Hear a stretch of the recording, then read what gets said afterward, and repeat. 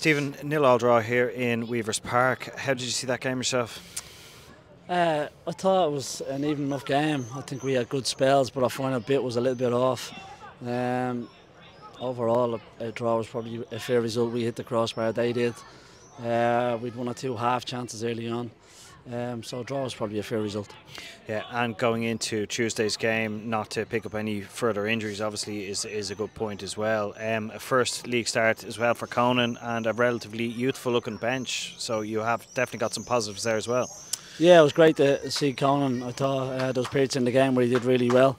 Um, he'll only get better for that experience and understanding. Um, what, what it's all about. But uh, look, we know what Conan has, and it's about being patient with him and putting him in at the right time and taking him out. And, and uh, we couldn't get the other young boys on the pitch tonight, but um, hopefully in the future we'll see them play. Some of our players really good. We've we've uh, dominated the game. We controlled the game. Just our final bit, we we get into the final third. Um, just the final bit let us down. We, we we rushed it or we took the wrong decision or the pass was over hit or under hit.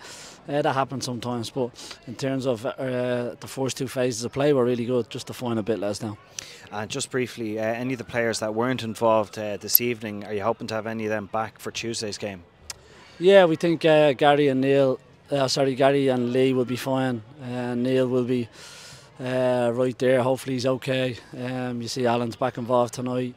Um, who else have we got? Uh, obviously, Trevor's a longer term one. Uh, yeah, Jack was nearly uh, made tonight, but was just a bit yesterday in training. So uh, hopefully, a few more days uh, recovery will help him.